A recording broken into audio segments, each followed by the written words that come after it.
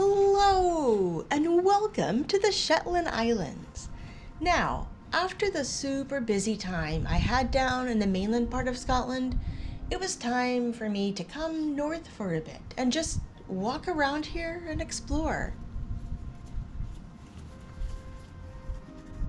There's a bit of peace and serenity and rejuvenation I find in the north.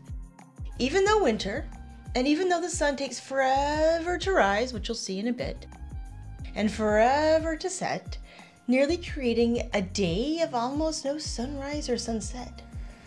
I've lived here for quite a while, and it's just such a magical adventure every time I see it.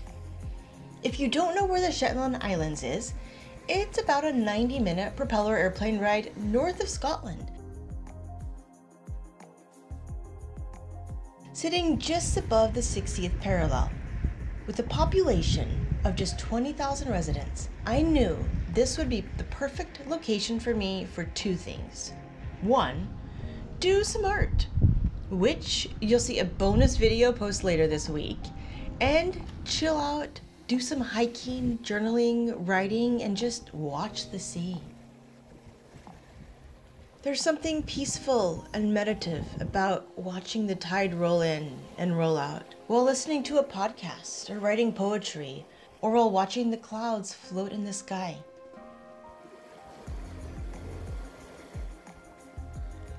And up here, I think the people have been doing that for many years.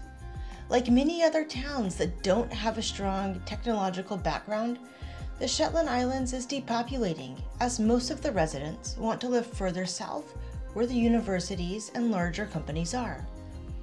That said, the people who live in the Shetland Islands are absolutely charming, welcoming, and it houses some of the oldest archaeology in all of Scotland.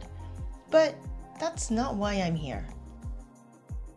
I'm here to stare at the sea, at the nature that has fought so hard for so many thousands of years. Back in the first century, the Romans wrote about overtaking this place. Yes, the Roman Empire went this far north. But before them, it's estimated that settlements date back to the Mesolithic period, around 15,000 BC, if not before. More recently, Shetland Islands was the center of a bunch of war bases in both World War I and World War II, and other wars. Today, many of the bunkers still stand, being home to some other vagabonds and artists, and going to visit this location was absolutely breathtaking.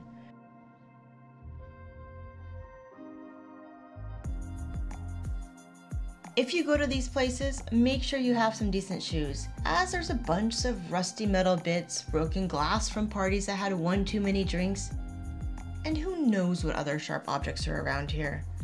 These bunkers were the home, the hiding place, the resting place of soldiers who were fighting for the ego of someone else. With the current turmoil in our world, I think it's crucial that we visit these places to remember that life is too short to squabble about such things. There is plenty of room in the world. If we live peacefully, we generate a much more peaceful environment for those around us and the offspring of our society to thrive and dwell in. And with that, I'll leave you with these waves that I watched for far too long, just lapping on the shore. Waves that crashed many ships before my time. Waves that brought in fish for the community. Waves that carried ships out to sea. And waves that helped explorers discover and rediscover this wonderful place. Thanks for watching. And if art is your thing, stay tuned for that video I'll post later this week as I'm trying some new art things out. Bye.